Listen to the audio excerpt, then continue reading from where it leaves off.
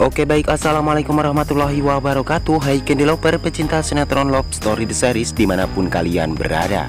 Jumpa lagi bersama Mas Mimin Sarmin Yang akan membawakan satu bocoran alur cerita Yang datangnya dari Love Story The Series. Yang mana kali ini kita telah disuguhkan dengan melihat Kendra Wilantara Yang saat ini mengurusi Ke sendirian.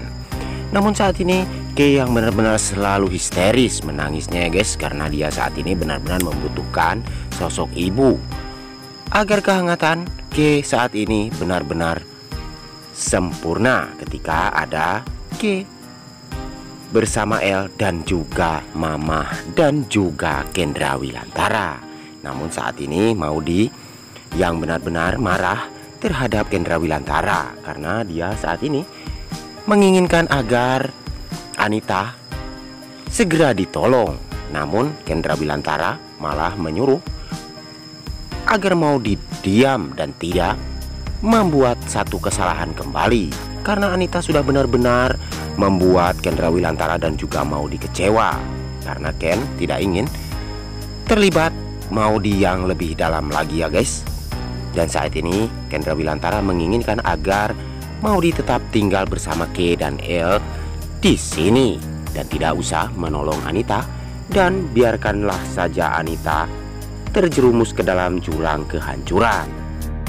Namun saat ini kita pun akan disuguhkan dengan melihat si Oncom Arman yang saat ini telah dikejar-kejar oleh anak buahnya si Baron karena dia berusaha melarikan diri dari tangan si Baron. Dan saat ini si Arman pun terjebak nih di dalam lubang dan dia pun ternyata masuk ke dalam lubang ya guys yang benar-benar dalam. Dan sampai saat ini si Arman benar-benar akan benar-benar tiada.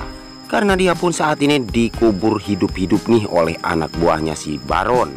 Karena anak buah si Baron sudah benar-benar kesal terhadap si Oncom Arman. Mungkinkah ini adalah karma untuk si Oncom Arman ya guys? Yang selama ini telah menghancurkan perusahaan Argadana Group dan keluarga Argadana. Dan semoga saja saat ini si Arman pun akan benar-benar menyesal dan akan mengakui semua tentang kebusukannya selama ini terhadap Argadana. Dan mungkinkah ini adalah balasan dari semua perbuatan si Arman yang selama ini telah diperbuat oleh dirinya terhadap keluarga Kendra Wilantara dan juga Argadana. Tapi sebelum lanjut lagi, bagi kalian semua yang baru menemukan ataupun bergabung nih di channelnya Mas Mimin Silahkan tekan tombol subscribe dan nyalakan lonceng notifikasinya. Tujuannya agar kalian semua tidak ketinggalan notifikasi terbaru dari channel ini. Namun di sisi lain kita pun akan disuguhkan dengan melihat saat ini si Hatar dan juga Madinah Yang terus tetap selalu berjuang Untuk mendapatkan cinta sejatinya ya guys. Karena saat ini mereka pun benar-benar selalu bahagia dibuatnya karena saat ini